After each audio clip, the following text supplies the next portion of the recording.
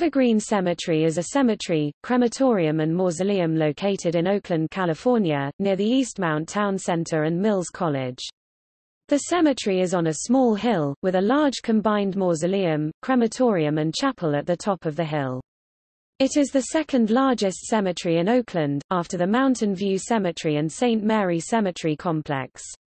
It is full, and closed to new interments, but still operates a crematorium.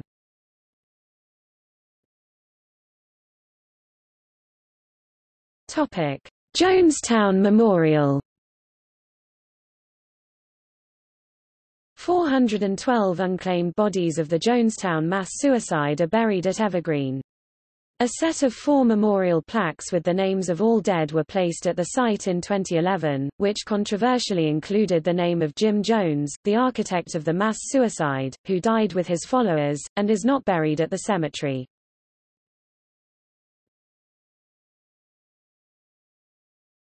Topic: Notable interments. Various notable people are buried at Evergreen. C. L. Best (1878–1951), son of Daniel Best, Caterpillar Tractor Company executive. Daniel Best (1838–1923), adventurer and inventor.